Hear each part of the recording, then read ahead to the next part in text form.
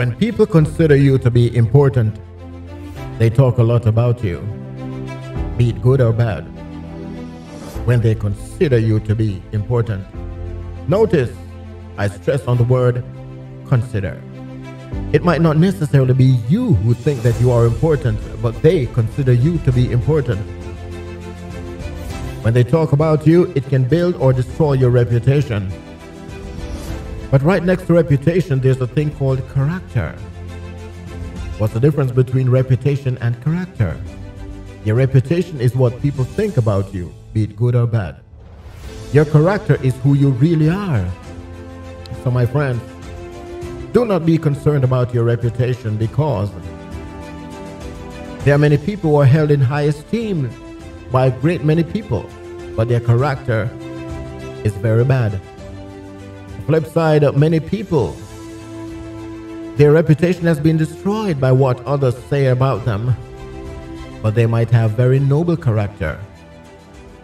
Concentrate on a person's character as opposed to their reputation.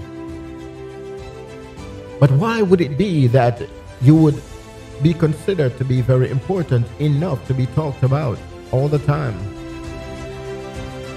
You see, when the anointing of God is on your life, you attract three types of persons. You attract those who truly love the Lord and want to get the benefit of your anointing, your ministry, your purpose. Then there are those who are leechers. They recognize they love the anointing, they just want to hang on to it, they do not want to get their own. Then there are the haters who hate God and all that pertains to Him. They hate you without a cause simply because the anointing is on your life. And they talk this and they talk that. They cannot get you out of their minds. They think about you all the time. And so they talk about you all the time.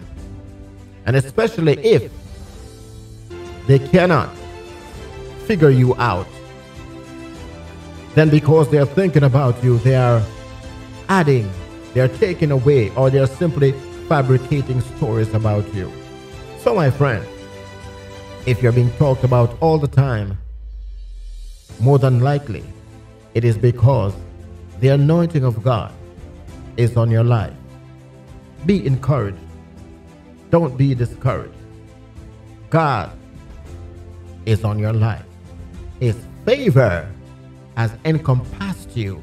So therefore, you are either very famous or are very infamous.